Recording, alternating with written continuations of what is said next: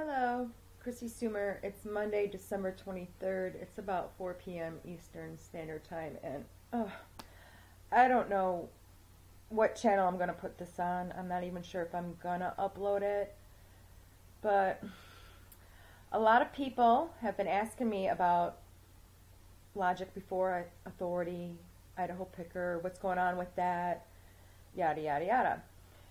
And I figured instead of addressing it all separately, I'll just try to do it in one video response and um, try to answer, you know, a little bit of, you know, people's questions all at once. Unfortunately, the rabbit hole here goes very, very deep. So um, I put together a, a small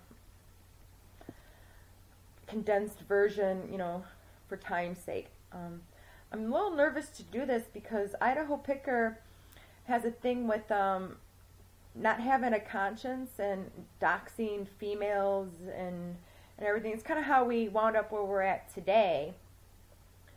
Um, see, there's a lot of things that happen behind the scenes that not everyone knows about, and every so often it spills over onto the tubes, and people get confused and they don't know what to to think and you know, I try to not get people to, to pick sides. You know, you can get truth from, you know, whoever. It doesn't matter, me or my enemies. You know, let them plant the seed and, you know, follow through on it. You know, double check everybody. We make mistakes, stuff like that. I don't want to um, discourage anybody, but Idaho Picker has um, absolutely no problem with um, sending his subs to go harass somebody. When he put out Justin Tribble's um, was the wrong address at first, and he asked his subs to go knock on their door, I was mortified. I sent him a message. I'm like, you cannot do this. You don't know who watches your videos, okay? For starters, it's the wrong address. And then you're asking them to go there. You're, you're you know, if anything happens, you're going to be held liable. And he's like, well, I have nothing to lose. Then when he doxed Brittany and I guess that might have been a misunderstanding, like where you know people thought that he was implying that people should go there. It's probably because of his pretty previous video, which um, I talked him into taking down. Now, Idaho Picker is a con man. Sorry, Daniel. I'm, I'm just I'm trying to be real. People are asking me. I, I just want to be honest. Um, he's a con man. Um, he has a pattern throughout his life of um, you know, repeating patterns, you know, whether he just never learns his lessons, he just keeps going over and over and over um, and making the same mistakes without learning. Um, I wanted to give him the benefit of the doubt that, you know, everyone can change and, and, and all that, but that not be the case. Now, I don't have your number. I don't know any of your information. I know how most radio stations are, might be run, but FPRN is a business that is coming out of Pennsylvania. So when we do our show, we're connected from different machines into patched into his studio. That way, in case one host goes down, there's somebody else there. He runs everything through there. You know, he phone calls come in through that. We're not physically in Pennsylvania. This is you know this is his business. If you don't know what you're talking about, you really need to shut up. Okay? Because we're not running it. We are told you got to call, you know, he'll try to get like a name. If not, he gives us a number, you know, an area code. So the person knows that they're unmuted. When you Skype in, it goes there. I'm in Georgia. Okay? I'm not in Pennsylvania. It goes through a studio. So think what you want. Um, you're just confusing people even more. Now he, um, Idaho Picker has been going around on the down low behind everyone's back um, trying to get people to go after Monographs. See, Monograph's an easy target. Why? Because he doesn't take shit from nobody. He will come at you, and you know, and, and that's just it. So he kind of puts himself out there, and it's easy to target and hate Monograph. You know, he doesn't really care. Um, so Idaho Picker was going around trying to get people to, trying to get somebody in California, and I think I know who it is. Let me find out it was you um, to go get um, his mugshot, a mugshot of this Dale Bennett um, in Sonoma, California. So he went and got, somebody went and got it, and guess what? They had to physically go there. It wasn't him. He's not Dale Bennett, never has been Dale Bennett. They come out with these horrific, slanderous accusations about Monograph. This is what you people don't understand. The reason why they come out with such a horrific thing as being a, a pedophile is the hopes that the slander alone would get that person to dox themselves. Okay? I can't be so and so and so and so because I'm really so. You know, see how that works? And you wind up doxing yourself. This was the whole um, psychological um, psyop on um, getting money to expose himself. Well, he's stronger than most, so he's he's he's not going to dox himself like that, you know.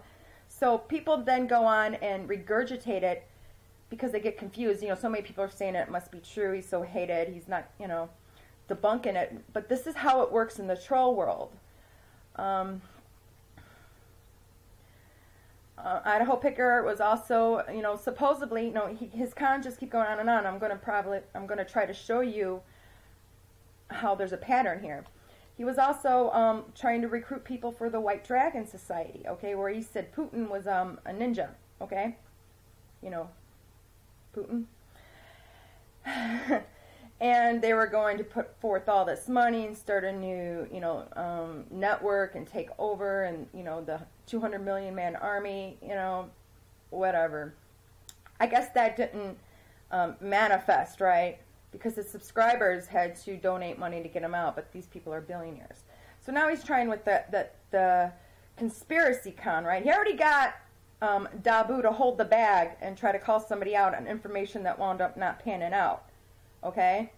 So just be careful. This is all about making money to him. Um, you know, what's really, really sad is most, most people who's involved in this movement are lower middle, middle class who've been screwed over by the government and the world and they're not working and they had the time to actually sit there and, and, and realize just how broken, you know, the system is, right? So they don't have money. But he wants to charge them what, $90 to come to a conspiracy conference. I'm going to put all links below. Here we go. This is from um, idaho.gov. It's from July 2005. Now, if you go down here to like page 5, where it says disciplinary actions. Here's the thing. I didn't do all this research. A lot of people did. I did some of it, um, of what I'm going to show. Now, if you notice right here, I'm not even going to read it all to you, but just right here, let me see if I can highlight. Oh, it's highlighting the whole thing. This right here is all about um, Idaho Picker, Daniel A. Cannon, right? Look how long everyone else's is. Check out this one. You know, see how short they are? little paragraph. Oh, I'm having issues here, sorry. But if you come down here, this was, he lost his license for all these different reasons. Um, from April 27, 2005 until April 26, 2006. He, um, his um, license was, you know, suspended. He could no longer, you know, do real estate. Did he learn his lesson? I don't know. Here's an, uh, in uh, Yahoo Groups, right? Um, 2007, so now he's got his license back, and I'm not going to read all this to you. There's a lot here. He's looking to recruit somebody and um, to be a partner with them when they can get 27% or 25%, right? They just, you know, needed to sign and be, you know, at least have a, a worth of 2 million to $4 million and blah, blah, blah. And it's a great deal, you know, come with me and you can just make money out of nothing, blah, blah, blah, blah, blah, right? 2007. Just got his license back, right? Repeat patterns, right? Um, I'll put the links below to this stuff. He's probably to flag me. This just goes to show um, he's got plenty of driving without a license, driving under the influence. He never learns. It just keeps repeatedly happening. You know, he, he he's made a video addressing all this stuff. You know, like he didn't know it was a one-way street, whatever the case may be. But it, it's, it's starting to show a pattern, okay? um, this one is, what is this one? oh, more of this pattern, driving recklessly. Uh, this is where we get to the um, the good stuff or the big stuff. He he actually got because of his little scam here, after losing his license here, This is the one he's talking about, where the judgment against him was $13 million against him, and against his partner, 12,983,964. So, it, it, you know what I'm saying? It goes to show his character. And he's got way other ones over here, too, against credit cards, where he says, max out your credit cards. Uh, I don't have the page open, do I? Now, here we go. 11,000, 11, um, 960, 11,136. 15,872, 68,540. Yeah, go max out your credit cards, okay? Like he told you when he did his whole little scare stunt and ran off to Belize to try to go there to sell people real estate. Remember he said, you know, max out your credit cards and bug out. The time is now. Did it happen? It's all about making money to him. The White Dragons didn't pan out. I mean, he, he says, well, it's against the banks. Who cares? It's against the banks. Um, whatever, dude. All right, whatever. You, you're you're a con man, and now you're trying to con and get other YouTubers to stand next to you and go after uh, you know other YouTubers and go and hold the bag for you. This is my belief. Okay, the guy has not changed. Here is QK Ultra's work, the Sandy Hoax Surprise, uploaded December 10th. But here's the thing: I saw their video manager. They had this really uploaded sometime in November. I want to say November 17th. But if you scroll down, you'll see that Idaho Picker says, "Oh, go to mirror and add some more that you know that I see and know. Awesome vid and catch." Well, he waited like almost a whole day, so his video went viral. It was going on before its news, and not that that's anything to write home about. Um, there's some good publishers over there, but a lot of fear. But anyways, um, he waited about a day before he even credited people were going and leaving comments left and right. Like, you got to go credit. I mean, because he took the information and the links and he presented it in his own way, okay? Because this is what Idaho Picker does. He goes and tries to find smaller channels because QK was a lot smaller at that time. And he looks at their work and he no longer just copies it. He tries to make it his own, okay? Now he has since credited QK, but you see his one up the 11th. This one published on the 10th. Okay? And people are leaving a message. I mean, what, what do you mean? What, why do you have to wait so long to credit somebody?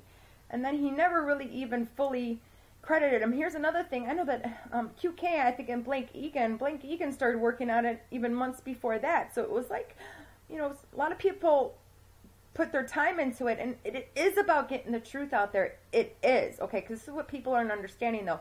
But when someone like logic before authority, a con man goes around to smaller channels that he figures out nobody knows about, right?